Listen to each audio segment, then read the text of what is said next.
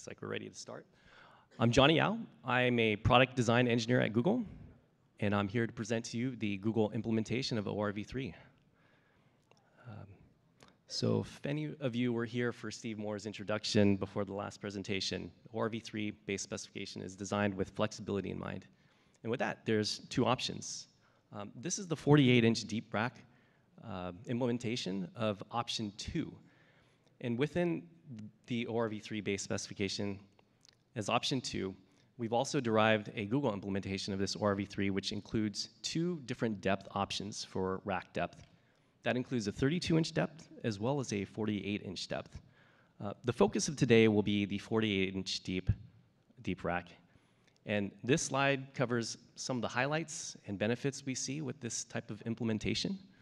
Uh, most of this will be covered in the rem remaining slides here, but just to give you a, a quick run through, um, it does have an OCP compliant feature set. It's capable of, of um, integrating industry standard equipment as well as custom payloads. Payloads that are up to 24 inches wide and even greater than 36 inches deep.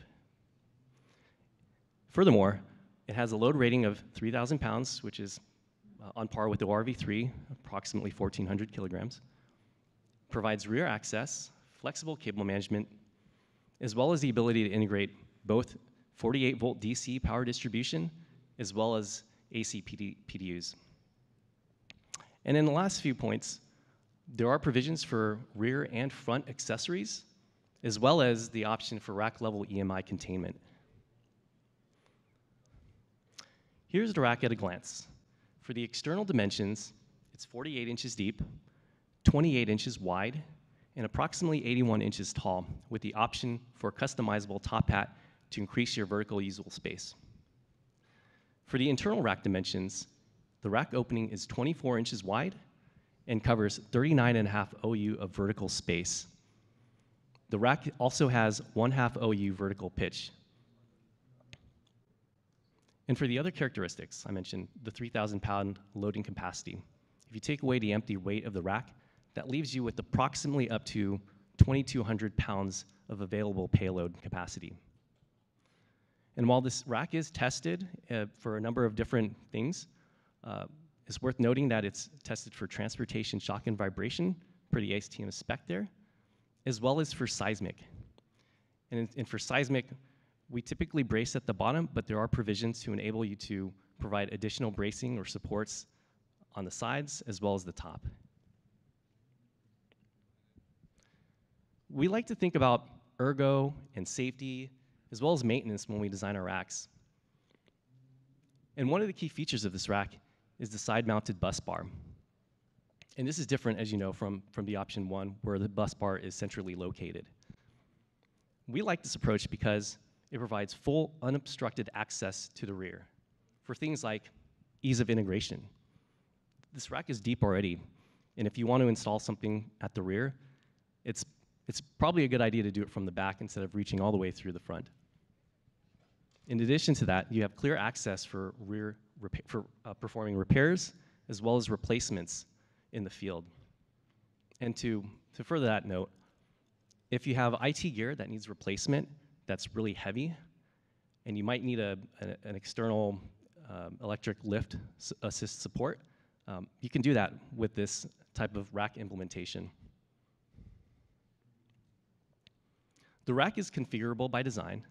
There's an assortment of brackets, fillers, adapters, and so on that you can implement to design your rack to whatever your need is. We literally have a catalog of parts that you can pick and choose from to create your rack solution. As far as the flexible rack architecture, as I mentioned, it's capable of integrating industry standard equipment, such as your 21 inch wide OU payloads and 19 inch EIA payloads.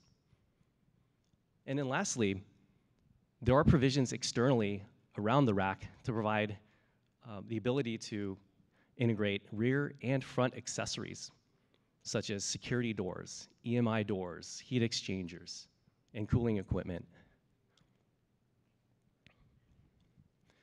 And to expand further on the flexible rack architecture, another notable feature of this rack is the ability to place the bus bar in multiple locations. In particular, we have the ability to have a shallow position bus bar as well as a deep position bus bar to accommodate machines of different form factors and depths. And similarly, we have adapter rails that can adapt the rack from OU to EIA um, spacing. And in the same way, we can also accommodate deep and shallow machines. Or thirdly, you could have a hybrid solution where you combine a number of these different options, which we'll show you on this, this next slide. So here's a demonstration that we, we created with a rack solution. And, and what shows is the ability to have different power architectures and uh, power distri distribution strategies within the same rack. Um, and essentially, what we're showing here is ability to have both DC power distribution co-located with AC powered equipment. So let me walk you through the, the photo here.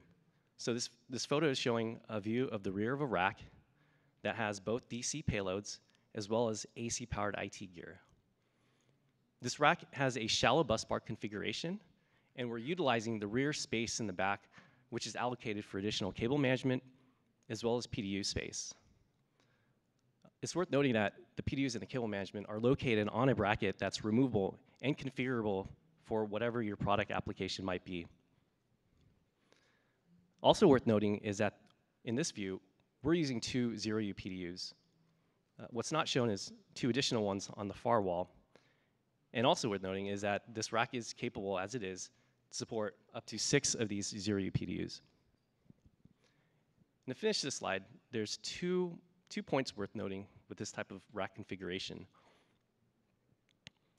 By having the PDUs, zero U PDUs on the sides, you have the ability to maximize the payload usable space for things that might matter most to you, like compute, networking, and storage.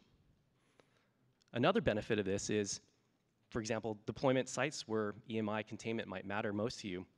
It might be beneficial to have, to have all your components integrated within the, in the same rack space, as shown here.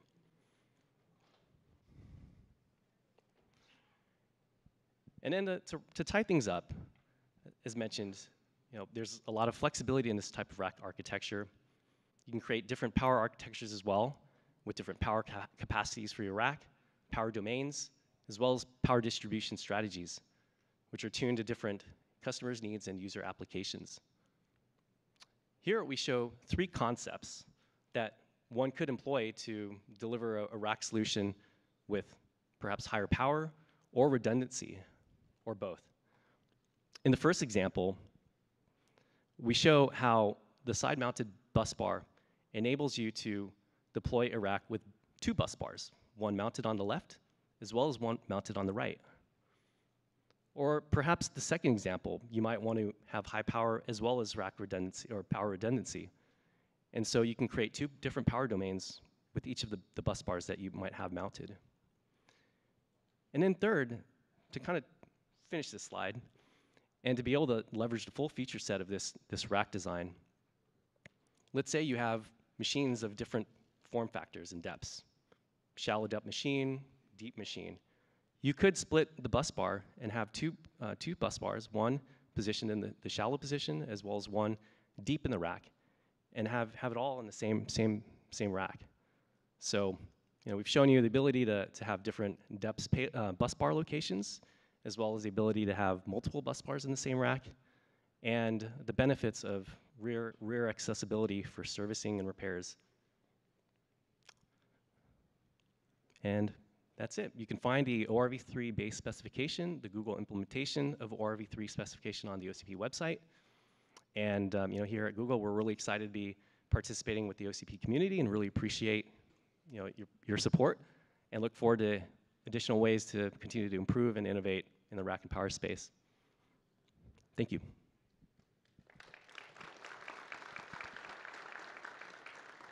Uh, question, any questions?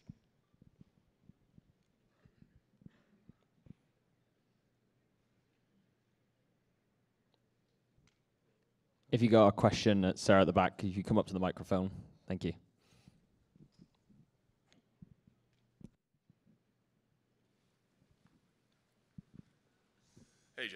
You're Hey, doing On the, uh, you showed the three different um, types of setups. I was wondering if, um, where you showed the shallow versus the deep uh, rack implementation, how you envisioned connecting the two bus bars. There's just a squiggly line there. Yeah, that- that's a great question, and and you know we haven't worked out the full details and qualified a solution for that yet. So try to No. mention it as a hypothetical concept that's that's capable of being employed. Uh, you know. Gotcha. You know who to call. Thanks.